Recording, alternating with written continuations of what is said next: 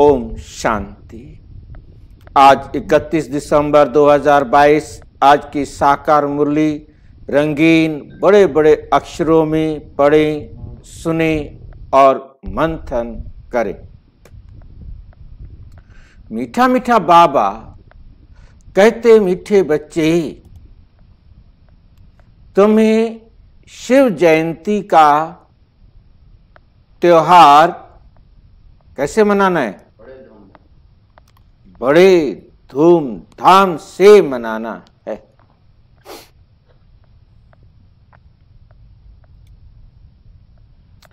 ये तुम्हारे लिए बहुत बड़ा खुशी का दिन है। सबको बाप का परिचय देना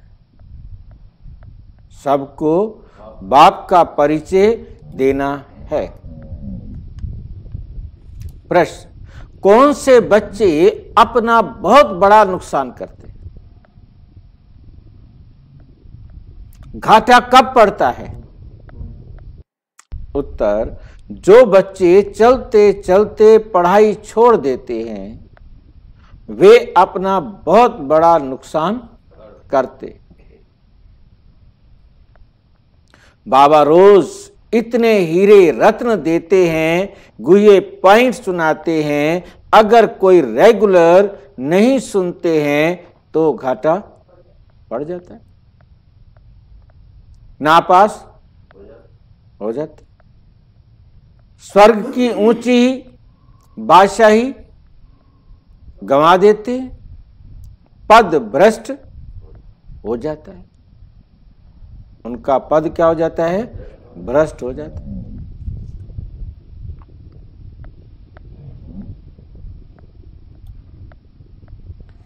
गीत। रात के राही थक मत जाना, सुबह की मंजिल दूर नहीं। ओम शांति। ये रात और दिन मनुष्यों के लिए है। शिव बाबा के लिए रात और दिन नहीं ये तुम बच्चों के लिए हैं, मनुष्यों के लिए, ये तुम बच्चों के लिए हैं, मनुष्यों के लिए हैं, ब्रह्मा की रात और ब्रह्मा का दिन गाया जाता है। कब होता है ब्रह्मा का दिन और ब्रह्मा की रात? सत्युग त्रेता ब्रह्मा का दिन, द्वापुर कलयुग ब्रह्मा की रात। शिव का दिन शिव की रात ऐसे कभी नहीं कहा जाता। ऐसे कभी नहीं कहा जाता। सिर्फ़ एक ब्रह्मा भी नहीं कहा जाएगा। अब एक की रात तो नहीं होती ना। गाया जाता है ब्राह्मणों की रात। ब्रह्मा की रात माना ब्राह्मणों की रात और ब्राह्मणों का दिन। तुम जानते हो, अभी है भक्ति मार्ग का अंत साथ साथ घोर अंधियारे का भी अंत। भक्ति मार्ग का भी अंत और घोर अंधियारे का भी अंत। बाप कहते हैं, क्या कहते हैं बाबा? मैं आता ही तब हूँ, जबकि ब्रह्मा की रात होती जब क्या होता है? ब्रह्मा की रात होती है। तुम अभी सवेरे के लिए चलने लग पड़े हो। अब तो पहुँचने वाले ना। चलने लग पड़े हो। जब तुम ब्रह्मा की संतान आकर बनते हो, तब तुमको ब्राह्मण कहा जाता है। तब तुमको क्या कहा जाता है? ब्राह्मण कहा जाता है। ब्राह्मणों की रात पूरी हो, फिर देवताओं का दिन शुरू होता है। ब्राह्मण जाकर क्या बनेंगे? देवता बनेंगे। ब्राह्मण जाकर देवता बनेंगे। इस यज्ञ से बहुत बड़ी बदली होती है, परिवर्तन होता है। पुरानी दुनिया बदलकर नई बनती है। कलयुग है पुराना युग सतयुग है नया युग फिर त्रेता। त्रेता क्या होगा? 25 प्रतिशत पुराना। द्वापुर 50 प्रतिशत पुराना। आज सीधा हिसाब समझा रहे हैं ना टेढ़ा मेढ़ा नहीं है। युग का नाम ही बदल जाता है।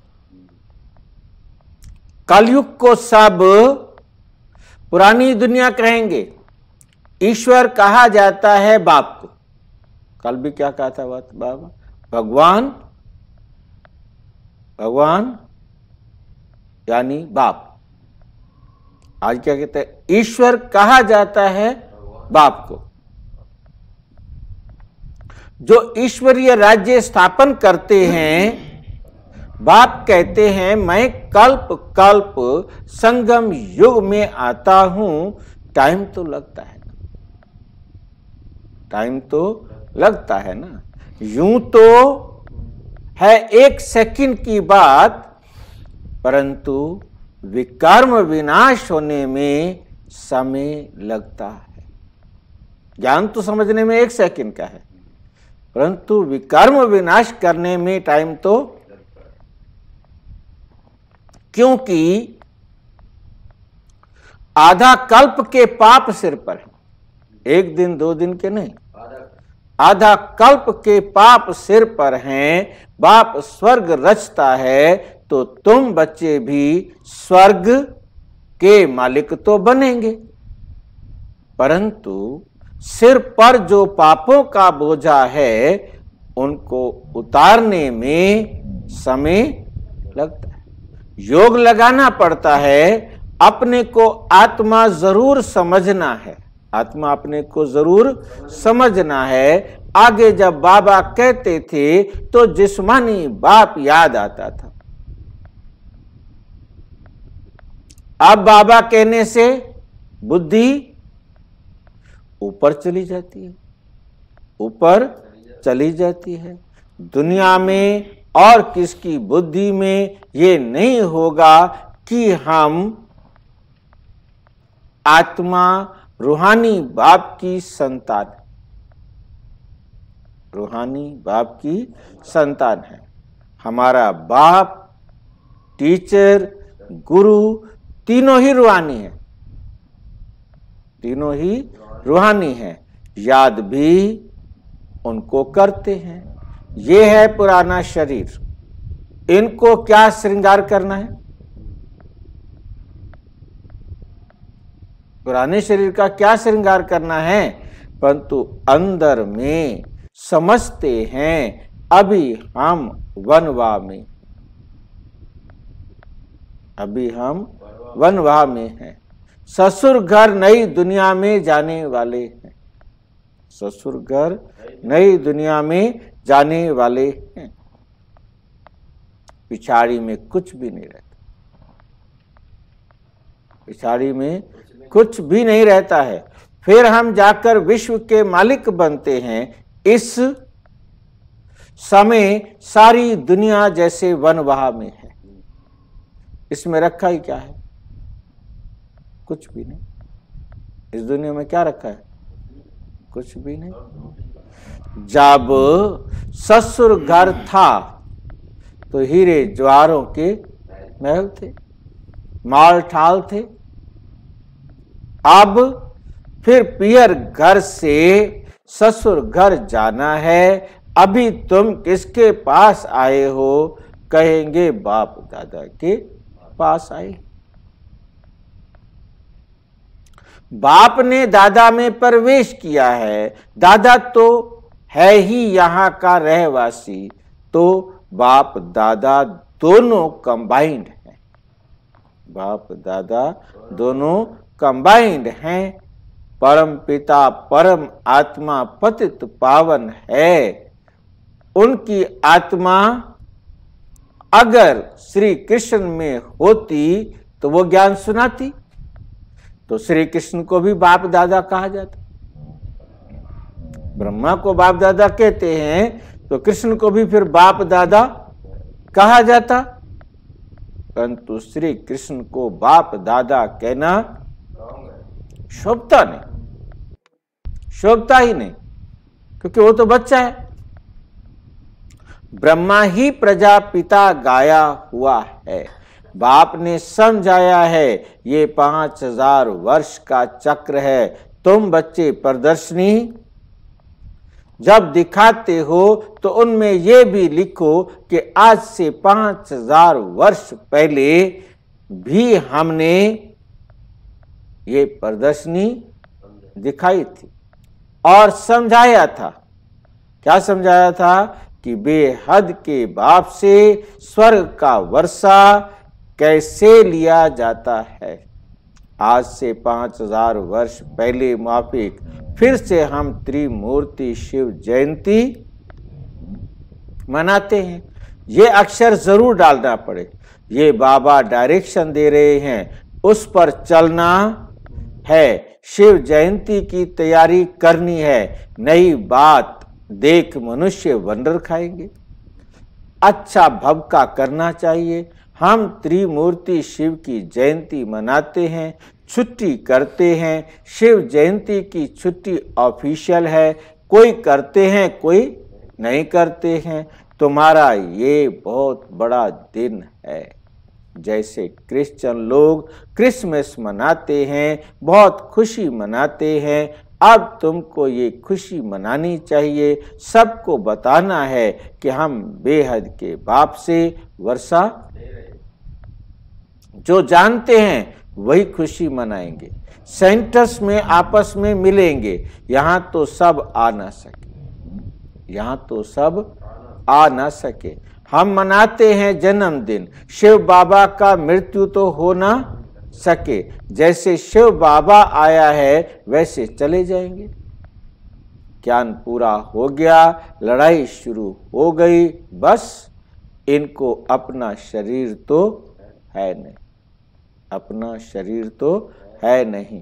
तुम बच्चों को अपने को आत्मा समझ, पूरा देही अभिमानी बनना है। इसमें मेहनत लगती है। सतयुग में तो आत्म अभिमानी है। वहाँ अकाले मृत्यु नहीं होगा। यहाँ बैठे बैठे काल आ जाता है। हार्ट फेल हो जाता है। कहेंगे ईश्वर की। परंतु ईश्वर की भावी नहीं है। भावी माना? हाँ जी। जो चाहो। वे मैं नहीं चाहता। वे मेरे मेरे कहने से नहीं होता। ये ड्रामा अनुसार होता है। ड्रामा की भावी है। मैं चाहूँ कि ऐसे हो जाए तो तो मेरी भाभी हो गई। शिव बाबा कहे वैसा हो जाए तो तो बाबा की भाभी है। हाँ। ड्रामा में ये इच्छा है, ये है कि ये इसका मर्डर करे, ये इसको सहयोग दे, ये इसको सहयोग ना दे। इसलिए बाबा कहते, ड्रामा की भावी है, मेरी कोई इच्छा नहीं है। मैं किसी को मारता नहीं हूँ। मैं किसी को जीवाता भी नहीं। मैं कोई संसारिक कर्म नहीं करता। कहेंगे, ईश्वर की भावी, परंतु ईश्वर की भावी नहीं है। तुम कहेंगे, ड्रामा की भावी। ड्रामा में इनका पार्टी ऐसा था। अभी तो है ही आयरन एज, नई दुनिया गोल्डन एज थी। सत्युग के महल कितने हीरो से सजाए हुए होंगे? अकीचर धन होगा, परंतु उनका पूरा वृतांत नहीं है। वहाँ क्या क्या होगा, उसके बारे में किसी को भी पता क्यों नहीं है पता?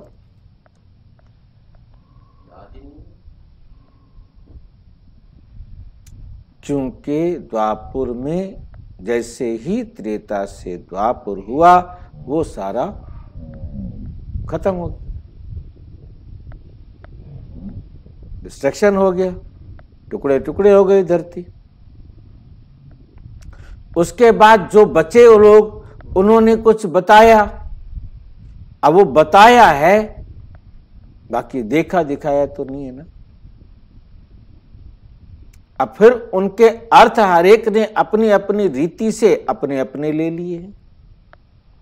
स्वर्ग बहुत ये होता है, ये होता है। अब जितने भी स्वर्ग के दृश्य बनाए गए हैं, वो सब कल्पना के आधार पर बनाए अब किसको पता थोड़ा है कि स्वर्ग में ऐसे महल थे? अजमेर में स्वर्ण का मंदिर बना हुआ है वो को देख के थोड़ा आए हैं। उन्होंने अपना अंदाजे से अनुमान लगाया कि ये होगा ये होगा ये होगा, स्वर्ग में ये होना चाहिए, ये होना चाहिए। क्योंकि जितनी भी कहानियाँ लिखी गई हैं, वो उन लिखने वालों की अपनी कल्पना है, स्वर्ग ऐसा होगा। कुछ अर्थक्वेक आदि होती है तो टूट फूट पड़ती है, नीचे चली जाती है। कुछ अर्थक्वेक होती है मेरे बिल्कुल ही अर्थक्वेक होती है। धरती टुकड़े टुकड़े हो जाती है, नीचे चली जाती है। तो इन बातों का बुद्धि से काम लेना है। ये खाना बुद्धि के लिए है। ये जो मुरली है, ये भोजन है बुद्धि के लिए। तुम्हारी बुद्धि ऊपर चली गई है। रचता को जानने से रचना को भी जानते हैं। सारे सृष्टि का राज बुद्धि में है। ड्रामा में ऊँचे ते ऊँचा है। कौन? भगवान। फिर ब्रह्मा, विष्णु, शंकर हम इन तीनों का ऑक्यूपेशन बता सकते हैं। क्या? क्या पार्ट है? जगत अंबा का कितना बड़ा मेला लगता है? जगत अंबा, जगत पिता का आपस में क्या संबंध है? ये भी हम बता सकते हैं। दुनिया वाले तो जानते नहीं। दुनिया वाले तो अपनी नज़र से देखते हैं। ये कोई भी नहीं जानते। क्योंकि ये गुप्त बात है। माँ तो यही बैठी है। वे थी एडॉप्टेड की हुई इसलिए चित्र उनके बने हैं। माँ कौन बैठी है? ब्रह्मा। ठीक है क्या नहीं? हाँ। और वे थी एडॉप्टेड तो चित्र इसलिए उनके बने हैं। उनको जगत अंबा कहा जाता है। ब्रह्मा की बेटी सरस्वती भल माँ का टाइटल दिया। है सरस्वती, है कुमारी, परंतु नाम क्या दिया उसको? माँ का। परंतु थी तो बेटी, सही करती थी। सही करती थी। सही करना क्या होता है? साहिन करना। सही करती थी ब्रह्मा, कुमारी, सरस्वती। ब्रह्मा, कुमारी सरस्वती। तुम उनको मम्मा कहते थे, ब्रह्मा को माँ कहना शोभता नहीं। ये समझने और समझाने में बड़ी रिफाइन बुद्धि चाहिए। ये गुहे बातें हैं। तुम किसके भी मंदिर में जाएँगे तो झट उनका ऑक्यूपेशन जान लेंगे। गुरु नानक के मंदिर में जाएँगे तो झट बता देंगे कि वे फिर कब आएँगे।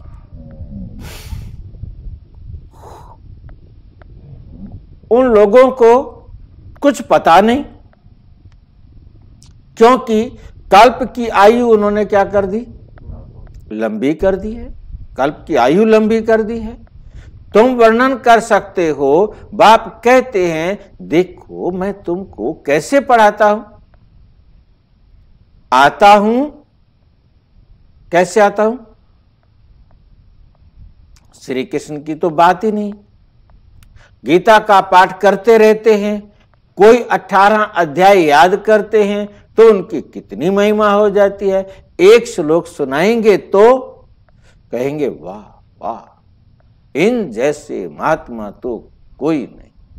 आज कल तो रिद्धि सिद्धि भी बहुत जादू का खेल बहुत दिखाते हैं।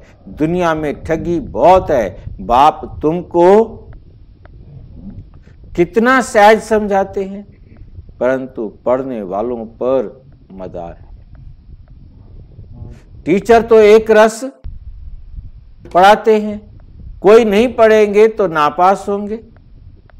ये भी होना ज़रूर है ये भी होना ज़रूर है।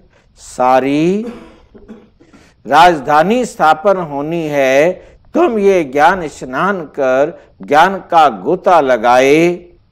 परिस्थान की परी, अर्थात स्वर्ग के मालिक बन जाते हो। रात दिन का फ़र्क है। वहाँ तत्व भी सत्व प्रधान होने से शरीर भी एक्यूरेट बनता है।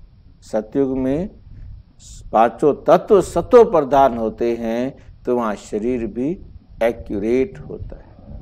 या तत्व तमो प्रधान है तो शरीर में विकार नेचुरल वहाँ तत्व भी सत्व पर नेचुरल ब्यूटी रहती है। वे है ईश्वर की स्थापना की हुई भूमि, अभी आसुरी भूमि है। स्वर्ग नरक में बहुत फ़र्क है। अभी तुम्हारी बुद्धि में ड्रामा के आदि मध्य अंत का राज बैठा हुआ है। वो भी नंबर वार पुरुषार्थ अनुसार। बाप कहते हैं, अच्छी रीति पुरुषार्थ करो। बच्चियाँ नए नए स्थान पर चक्कर लगाने जाती हैं अगर अच्छी माताएँ आदि हैं तो सर्विस को जमाना पड़े। सर्विस को जमाना पड़े। सेंटर पर अगर कोई नहीं आते हैं तो अपना नुकसान करते हैं। कोई पढ़ने के लिए नहीं आते हैं तो उनको फिर लिखना चाहिए। तुम पढ़ते नहीं हो। इससे तुमको बहुत घाटा पड़ जाएगा। रोज रोज बहुत गुए पॉइंट्स निकलती रहती हैं। ये है हीरे रत्न। तुम पढ़ेंगे नहीं तो ना पास हो जाएँगे। तो ना पास हो जाएँगे। इतनी ऊँची स्वर्ग की बादशाही गंवा देंगे। मुरली तो रोज सुननी चाहिए। ऐसे बाप को छोड़ दिया तो याद रखना। याद रखना। ना पास ना पास हो जाएँगे। फेल हो जाएँगे, फिर बहुत रोएँगे, खून के आँसू बहेंगे। पढ़ाई तो कभी नहीं छोड़नी चाहिए। बाबा रजिस्टर देखते हैं, कितनी रेगुलर आते हैं। ना आने वालों को फिर सावधान करना चाहिए। श्रीमत कहती है, पढ़ेंगे नहीं तो पद भ्रष्ट हो जाएँगे, बहुत घाटा पड़ जाएगा, ऐसे लिखा पढ़ी करो, तब तुम स्कूल को अच्छी तरह उठा सकेंगे। ऐसे नहीं, कोई नहीं आया तो छोड़ दिया। डंडा डंडा उठाया आज बाबा ने। कोई नहीं आया तो उसको छोड़ दिया। ऐसे नहीं करना है।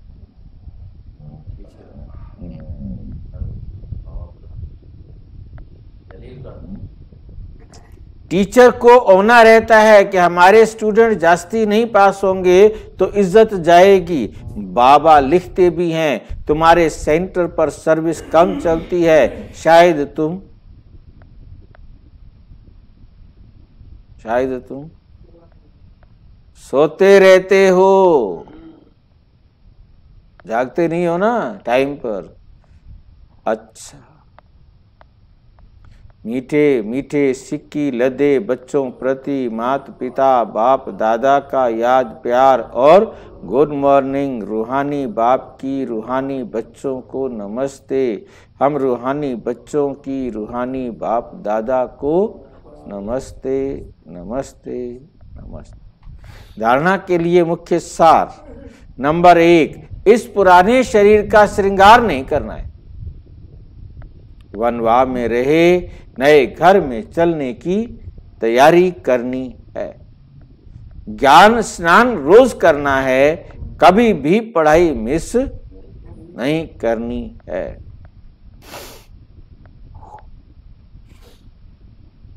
वरदान मेहनत, महानता के साथ निर्माणता को धारण करो। हम कितने महान हैं, कितने ऊंच बाप के बच्चे हैं, इस महानता के साथ क्या धारण करो?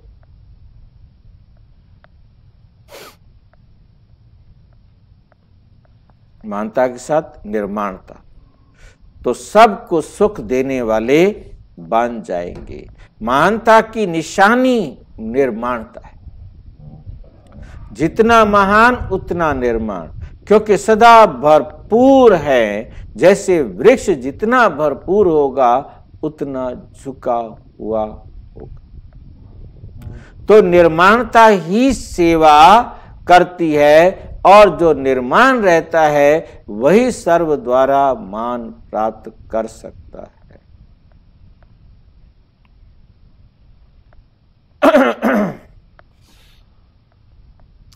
वे सर्व द्वारा मान पाता है, जो अभिमान में रहता है, उसको कोई मान नहीं देते हैं। उससे दूर भागते हैं। जो निर्माण है, वो सुखदाई होंगे। उनसे कभी सुख की अनुभूति करेंगे। अभी उनके समीप आना चाहेंगे। सभी क्या चाहेंगे? कि उसी के नज़दीक जाएँ। स्लोगन है उदासी को क्या करो?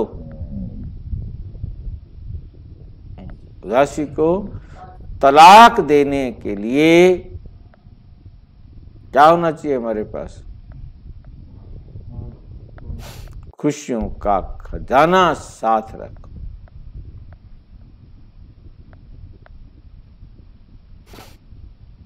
खुशियों का खजाना सदा साथ रखो। मातेश्वरी जी के मधुर महावाक्य है। गीत है नैनहीन को राह दिखाओ प्रभु।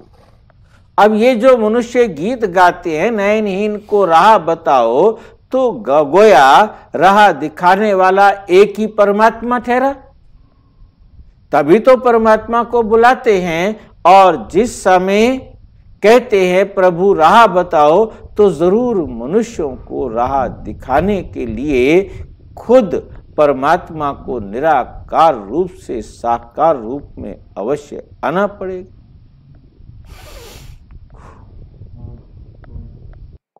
तभी तो स्थूल में बताएँगे।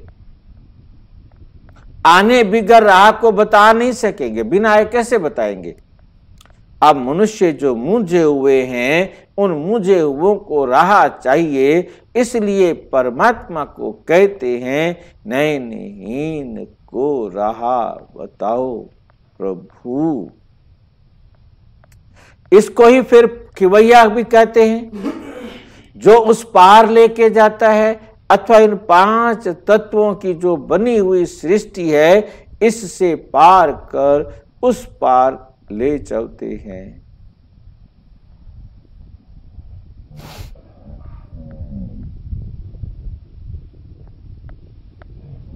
इससे पार कर उस पार, अर्थात पाँच तत्वों से पार, जो छठा महातत्व है, अखंड ज्योति महातत्व, उसमें ले जा चलेगा।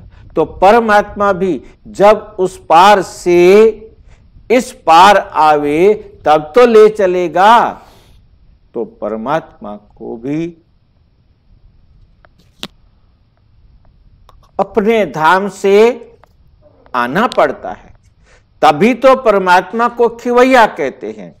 वही हम आत्माओं को, नाव को क्या करता है? पार ले जाते अब जो परमात्मा के साथ योग रखता है, उनको साथ ले जाएगा। बाकी जो बच जाएँगे, वे धर्मराज की सजाएँ खाकर बाद में मुक्त होते हैं। बाद में मुक्त होते हैं। नंबर दो, कांटों की दुनिया से ले चलो फूलों की छाव में। अब ये बुलावा सिर्फ़ परमात्मा के लिए कर रहे हैं। जब मनुष्य अति दुखी होते हैं तो परमात्मा को याद करते हैं। तो परम पिता, परम आत्मा, परम पिता, परम आत्मा। जब इस कांटों की दुनिया से क्या करते हैं? फूलों की दुनिया में, फूलों की छाँव में ले चलते हैं तो इससे सिद्ध है कि ज़रूर वो भी कोई दुनिया है। जब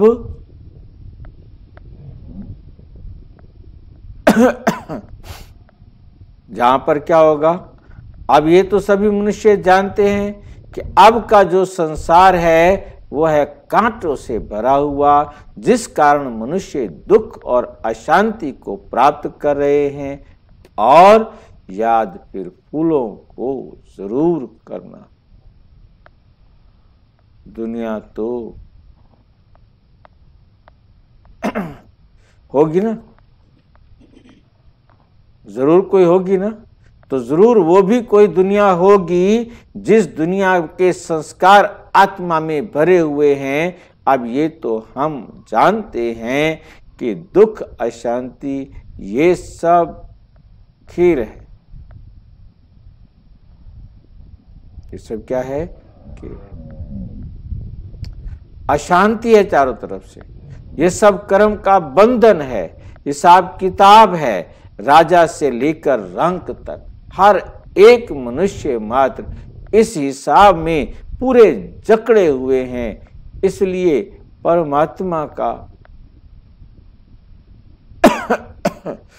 इसलिए परमात्मा तो खुद कहता है, अब का संसार कलयुग है तो वो सारा कर्म बंधन का बना हुआ है और आगे का संसार सतयुग था, जिसको फूलों की दुनिया कहते हैं। अब वो है कर्म अब वो है नहीं। ये जो हम जीवन मुक्त कहते हैं, इसका मतलब ये नहीं कि हम मुक्ति में चले गए या जीवन मुक्ति में चले गए। शरीर छोड़ने का मतलब ये नहीं है। ये जो हम जीवन मुक्त कहते हैं तो इसका मतलब ये नहीं कि हम कोई देह से मुक्त थे।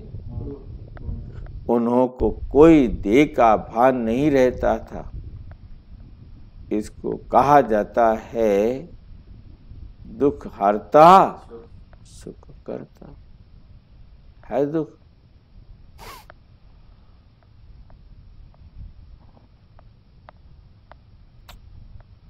मगर वो देह में होते हुए भी दुख को प्राप्त नहीं करते। गोया वहाँ कोई भी कर्म बंधन का मालूम ही नहीं है। वो जीवन लेते, जीवन छोड़ते, आदि मध्य अंत सुख की प्राप्ति करते थे। सुख की प्राप्ति करते थे। तो जीवन मुक्ति का मतलब है जीवन होते कर्मातीत। अब ये सारी दुनिया पाँच विकारों में पूरी जकड़ी हुई है। मानो पाँच विकारों का पूरा पूरा वास है, परंतु मनुष्य में इतनी ताकत नहीं। जो इन पाँच भूतों को जीत सके तब ही परमात्मा खुद आकर हमें पाँच भूतों से छुड़ाते हैं। और भविष्य प्रारब्ध देवी देवता पद प्राप्त कराते। ओम शांति और विस्तार से जानने के लिए प्रजापिता ब्रह्मा कुमारी ईश्वरीय विश्वविद्यालय के किसी भी सेवा केंद्र पर संपर्क करें और यदि कोई प्रश्न है तो nine two one three one zero six nine eight six पर केवल टेलीग्राम करें। Nine six five zero six nine double two seven zero पर केवल व्हाट्सएप करें। फ़ोन नहीं। ओम शांति।